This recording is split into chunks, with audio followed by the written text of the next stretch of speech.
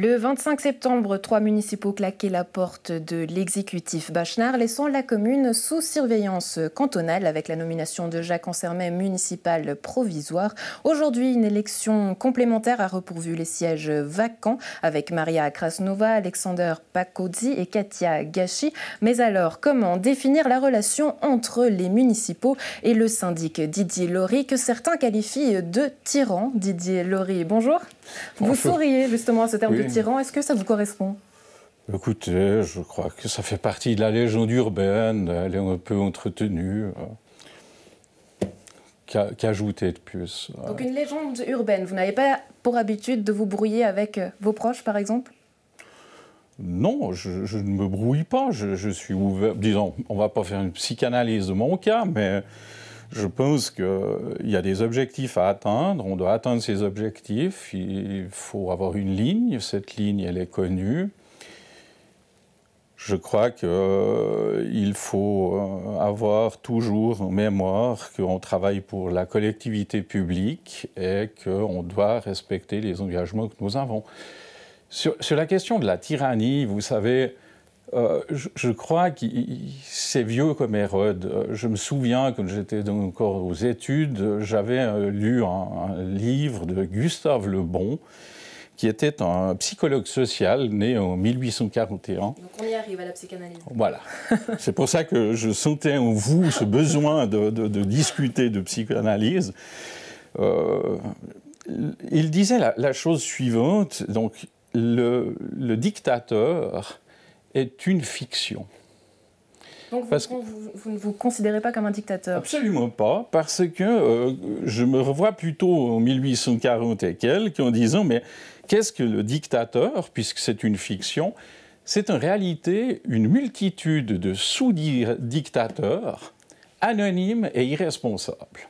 Donc c'est sous dictateur les trois municipaux démissionnaires. Je ne porte pas de jugement. Je, cite, je cite simplement Gustave vous Le Bon. Vous faites allusion. Donc qu'est-ce que vous leur reprochez Je ne reproche rien. Pour moi, le passé, c'est le passé. Ils ont fait un choix. Ce choix, ils l'assument. Voilà, la situation est terrible. Euh, pendant quelques jours, je dois dire que ce n'était pas très agréable. Mais euh, il faut toujours garder la tête froide dans ces événements-là. on, mène un bateau. Ce bateau doit avoir euh, une ligne ma foi, euh, c'est leur choix. Je ne remets pas en question leur choix. Ça fait plus de 20 ans que vous êtes euh, syndic. Vous n'en avez pas marre finalement de toutes ces querelles de village? Non, je n'en ai pas marre, euh, pour la simple et bonne raison que j'ai une vision, j'ai des objectifs. Et puis, si vous permettez... Mais à quoi ça sert d'avoir ces objectifs finalement ben, tout seul? Oui, alors ils ne sont pas tout seuls. Euh, il y a quand même 1400 habitants à Bassin. Ils ont quand même un espace de vie qui ne s'est pas rétréci. Ils ont quand même certains avantages de vivre à Bassin.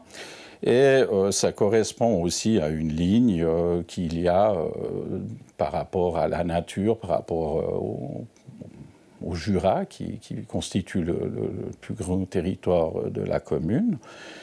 Et en avoir marre, c'est pas ça, c'est une mise à disposition de votre corps et de votre âme pour la collectivité. C'est simplement ça. Et le problème aux politiques, c'est ces courts mandats. Parce que vous êtes en train de perdre tout un savoir, toute une connaissance. C'est court mandat, donc c'est-à-dire que vous n'acceptez pas finalement qu'il faille passer par une phase d'apprentissage? Non, c'est pas que je n'accepte pas. Je dis aujourd'hui, quand j'entends les nouveaux managers, c'est toujours l'efficience, l'efficacité qu'on parle. Aujourd'hui, les mandats que nous faisons sont courts, où il faut un apprentissage, il faut une connaissance. La vie politique n'est pas gérée tout à fait comme une entreprise. Il y a un savoir-faire, il y a des connaissances à acquérir sur le terrain. Et les perpétuels changements dans une collectivité publique se traduisent immanquablement par des pertes dans la connaissance des dossiers et dans l'intérêt des concitoyens. Donc là, concrètement, comment on fait trois nouveaux municipaux qui arrivent? Donc, comment est-ce que vous allez faire pour finalement déléguer et les laisser faire? Mais ils ont toujours pu faire comme ils voulaient, dans la mesure du respect de la loi. Il y a une prestation de serment qui est faite au moment où cette prestation de serment n'est pas respecté, il est de mon devoir de, signaler les choses, ou de leur devoir de signaler que Laurie a commis un impair ou une irrégularité. C'est ça, c'est le respect. Et euh, je crois que si je dure euh, justement cette euh, vision que vous avez que je suis un tyran, c'est pas ça. C'est que peut-être dans notre société, il manque des gens qui ont une ligne et qui restent pendant quelques années à assumer. Parce que le, problème, il, faut assumer les choix qui ont été faits et aller jusqu'au bout. Alors, euh, est-ce que têtu euh, signifie obstiné, signifie une forme d'idiotie Vous qualifierais mieux, têtu et obstiné, du coup. Voilà, mais, mais disons, euh, têtu et obstiné dénote de notre état d'esprit de la personne idiote qui ne réfléchit pas et qui est un peu bornée, ce qui me gênerait qu'on puisse faire ça. C'est-à-dire, vous auriez pu être impulsif face à, à tout ce qui s'est passé?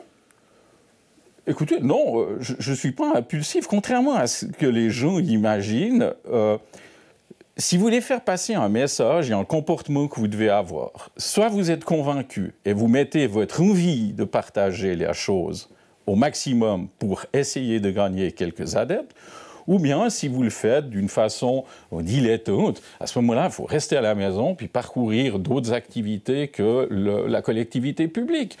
Chacun réagit comme il veut. Je, je pense être plutôt calme dans la réflexion et euh, dans l'analyse, c'est vrai que je vais peut-être un peu vite dans l'analyse et trop vite pour certains qui n'arrivent pas à me suivre, mais c'est intuitif de, ce côté-là. Avant toutes ces querelles, vous aviez annoncé que ce pourrait être votre dernier mandat. Est-ce qu'aujourd'hui, piqué à vif, vous vous sentez relancé dans la carrière et relancer euh, votre parcours? Écoutez, vous ne pouvez pas préjuger. Vous savez, j'ai annoncé les choses. Euh, donc. Mais qu'est-ce qu'il en est pour la suite? Est-ce que vous pourriez euh, reconduire ce mandat ou pas? Il est trop tôt pour savoir. vous, savez que je suis contre les doubles mandats politiques. Je me suis déjà trouvé dans une situation qui ne me satisfait pas réellement. Parce que euh, d'être à Lausanne et d'être à Bassin, mm. certains ont interprété que je m'appliquais moins au niveau communal. Euh, Ce n'est pas le cas. Euh, mais je crois qu'il y a des questions fondamentales sur ce double mandat. Est-ce que je suis un homme du législatif? Est-ce que je suis un homme de l'exécutif? Euh, En tout cas, je, dois être clair avec ça. Le, double mandat ne peut pas être compatible avec mon état d'esprit. Voilà. Mm. Dernière question, on reçoit tout à l'heure le nouveau secrétaire général de Région Nyon, Région Nyon que vous n'avez jamais souhaité rejoindre. On connaît votre désamour pour, pour le conseil régional, mais j'aimerais connaître votre avis sur l'état actuel euh, des choses. Qu'est-ce qu'il en est? Alors, sur le conseil régional ou région Nyon, euh, ça n'a pas changé par rapport à, ma vision des choses. Au contraire, je pense qu'il y a un problème de gouvernance. Je souhaite tout le, bien que l'on puisse imaginer.